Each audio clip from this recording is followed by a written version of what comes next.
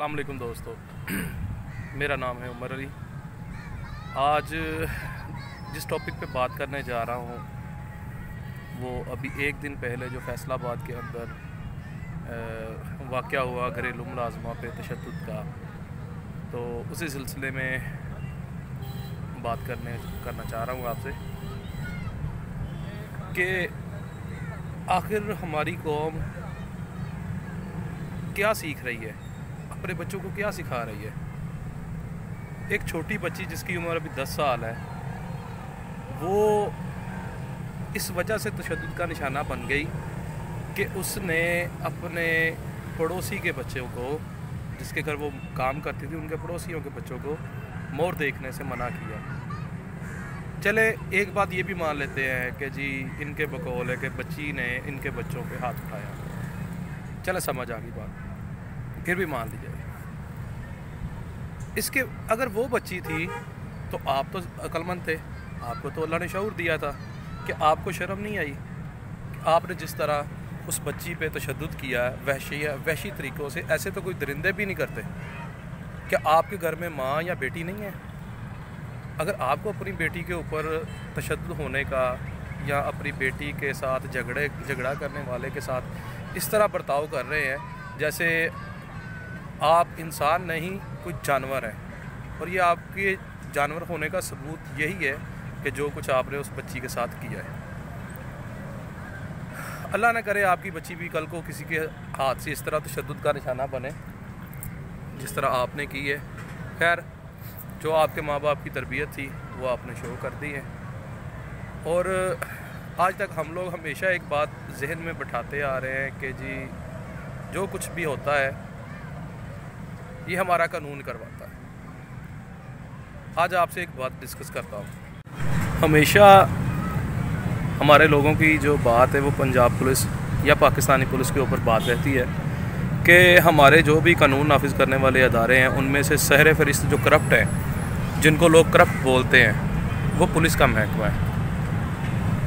अभी एक माह भी नहीं गुजरा शायद इस वाक़े को, कश्मोर वाले को, जिसमें मोहम्मद बख्श जैसे शरीफुल नफ्स इंसान ने अपनी इज़्ज़त दाव पे लगा के एक ऐसे इंसान की बच्ची, ऐसी औरत की बच्ची जिसकी इज़्ज़त पहले लुट लुट चुकी थी, उसके ऊपर अपनी बच्ची की इज़्ज़त दाव पे लगा के उसकी बच्ची की जान बचाई।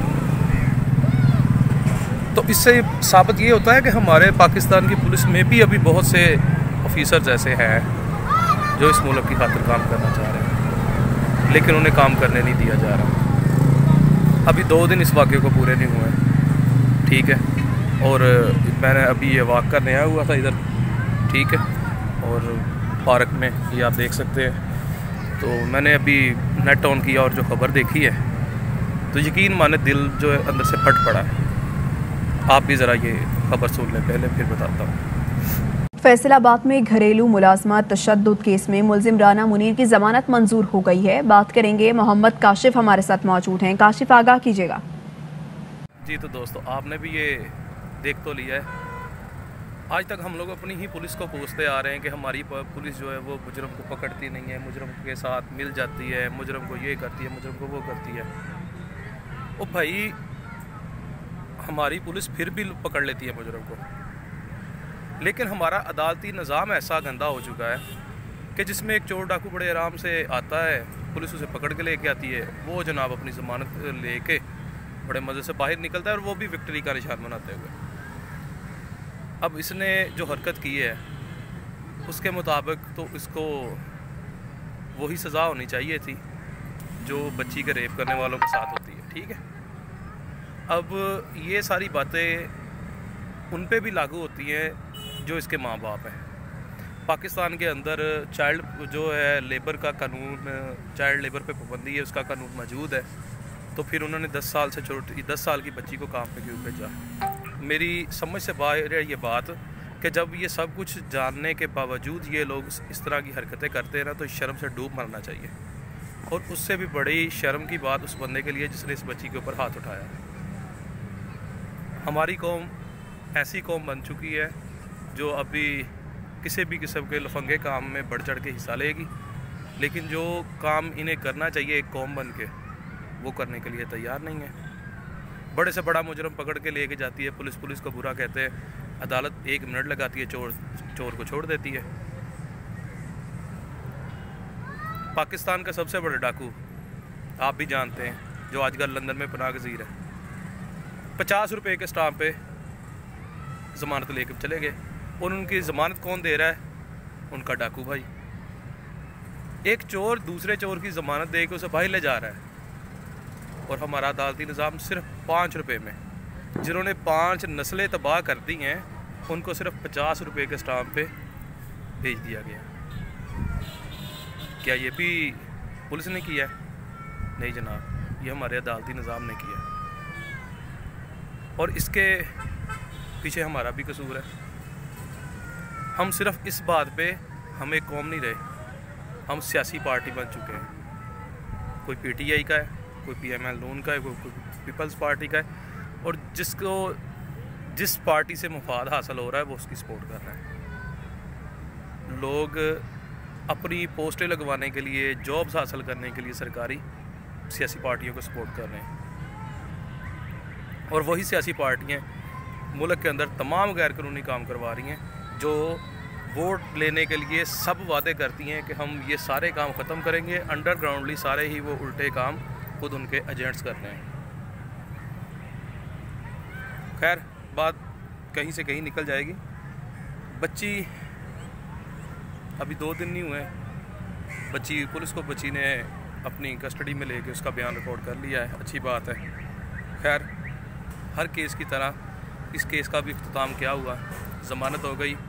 और ये शख्स चौड़ा होकर ऐसे आ रहा है, जैसे इसने कोई वर्ल्ड कप जीता हो। यकीन माने कि पुलिस वाले भी एक्शन लेने के लिए तैयार नहीं होते अब, क्योंकि उन्हें पता है कि अदालती निज़ाम इन्हें छोड़ देगा। उनके अंदर इतना डर बिठा दिया गया है कि आप जिस मर्ज़ी चोर डाकू को पकड़ें, अगर आपके पास पैसा है, अगर उसके पास पैसा है तो आपकी खैर नहीं। कल को वो बाहर निकलेगा, वो अपने पैसे का यूज़ करेगा, आपकी कहीं पोस्ट दूर लगवा देगा या आपको सस्पेंड करवा देगा।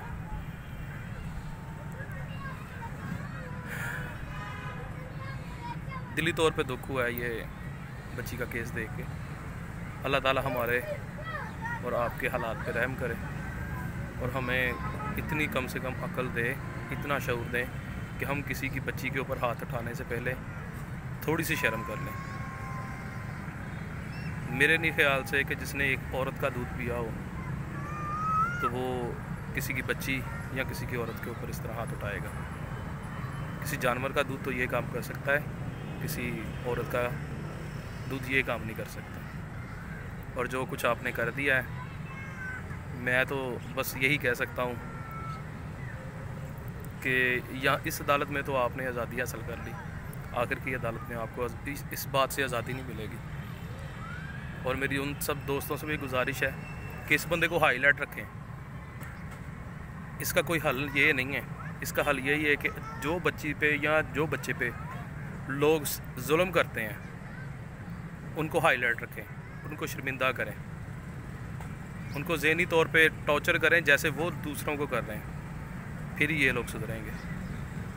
ये कोई बाहर की दुनिया से नहीं है ये हमारी अपनी दुनिया के ही लोग हैं। हम में से ही हैं। जो जीव, जो जानवर बने बैठे हैं। बाकी अल्लाह ताला हम सबको अपने हिफ्ज़ में रखे। I mean,